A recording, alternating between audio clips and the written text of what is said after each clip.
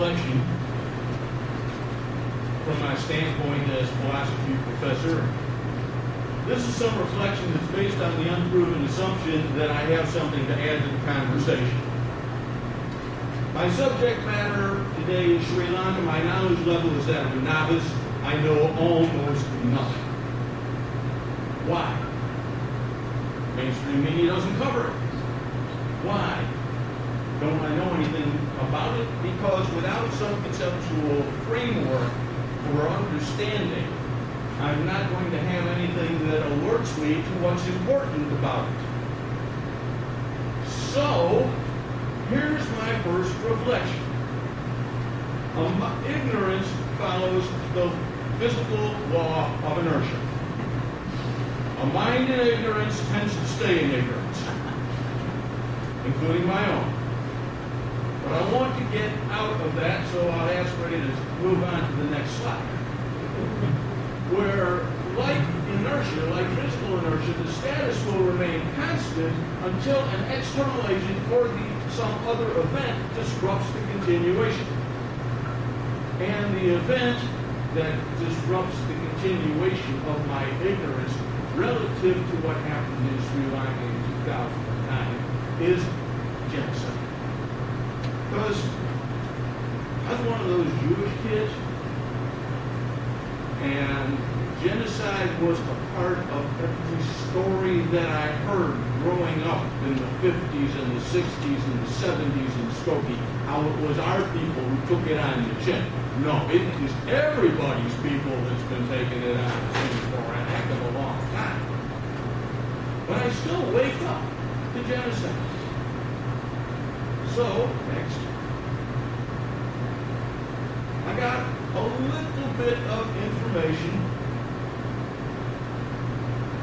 from the BBC.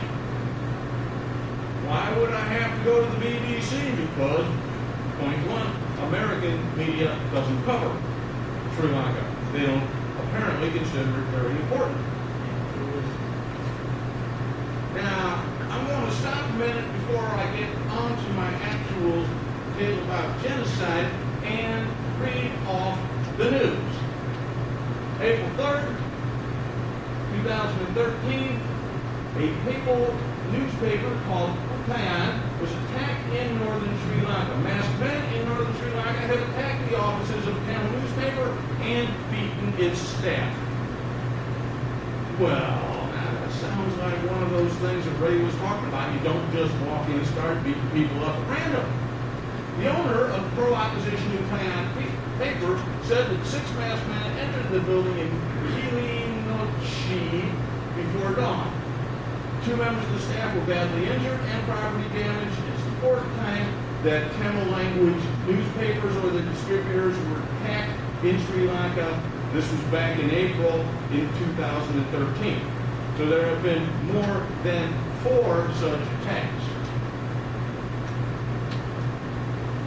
This particular attack happened in Jaffna. No, it happened further south in Jaffna when the local distribution copies of the paper had come in. Uh, the six men had been shouting something in Sinhala, the majority language of Sri Lanka, and they were waving cricket stumps. And for Americans who don't understand cricket, that's like a baseball bat. In the office, the manager was sleeping on the floor and they hammered him. Mr. Saravana Pavan told BBC another boy was badly hit and he needs stitches between his ear and his jaw. The office buildings and the vehicle were damaged. Police took statements and fingerprints but hadn't found anything. As typically happens. When you have a majority government being led by a majority and you're in trying to salvage that which a minority owns. Now let's move on. Here's reflection number two, some things that I've learned. Somebody over in Sri Lanka doesn't want people to get the news, particularly if it's published by the opposition, which is to say the government don't want to let the news out. That sounds a lot like other places I've lived and I've always lived here. from being reported, in this case, speaks Sinhala. Pretty good clue. Saravanapavan, uh, that's the name of the owner of the newspaper, must be speaking something else. So I know that there's at least two languages going on in Sri Lanka. A little bit more research from Genocide Watch tells me that there have been some attempts to issue a UN internal review report. Such attempts were blocked at the UN by the ambassador from Sri Lanka, who is Sinhala and in the majority view of the government.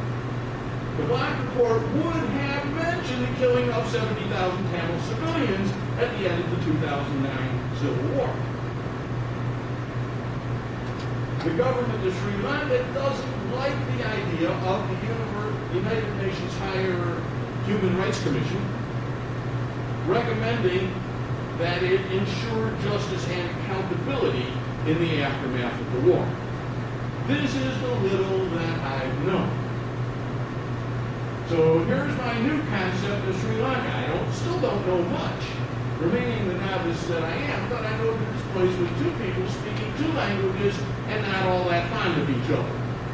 I know that it's a place where the opposition uses censor in a style that looks like Gangsterland in Chicago in the 1930s. I know that it's a place where a 26-year-long war for independence was declared won by the Sinhala majority government side uh, and the defeated rebels are known as Tamil.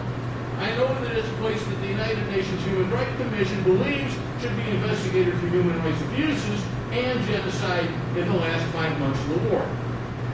I know that much. So just to provide people with a few things, I put together a little bit of a timeline. It goes all the way back to almost the beginning of time, the 6th century BC when the Sinhalese arrived. Uh, it took until the 13th century before the Tamil, AD, before the Tamil arrived. They didn't get there as fast. They moved in from a province of India called Tamil Nadu, I think it's called. Tamil Nadu, but Tamils also came in BC. They also came in BC. See, I, I, I maintain my ignorance. No, that's coming from one side of the source. Okay, this is all coming from one side. One side, Uh, not going from the other side. At any rate, I got to see that it was kind of controlled, yeah, kind, kind of controlled by uh, some of the colonial powers, initially Portugal, the Netherlands, and eventually Britain, who took over everything and ruled as they often did with an iron fist. Uh, probably the most cooperation that existed between Sinhalese and Tamils was about getting the British out. 1948 was independence.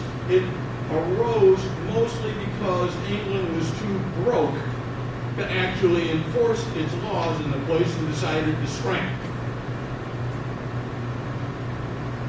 In 1972, the name was changed, and then there were some atrocities reputed on either side that led to a war of independence in 1983 that was ended, at least formally, in 2009. And since then, Tamil representatives have cited mob violence as one tool that's being used very extensively by Sinhala to try to make sure that they don't get a voice in government or any of the decision making. That's about it for the little I know. Next is my third reflection. Grady told me to reflect on three things. So I went back on this and just picked up a couple of lines from that and said the British had control of it until 1948 and they messed up in 1947 big time in Pakistan and India where they had managed to get people to all live in all kinds of different places and then swarms of them had to get back out into the proper country in order to deal with the religion that they had adopted creating a ton of confusion and an awful lot of death and violence. when they came to Ceylon, Sri Lanka, they were equally inept, leading the Tamil to eventually decide to hold a war of independence and try to break away from the Sinar, moving mostly into provinces in the north and east. So my reflection is, does breaking away from an empire risk an enormous population displacement? Or is it just that colonization is so bad a system that eventually it's going to keep on going? And did World War II really end, or did it just get passed down to the colonies? And I'm done. Next.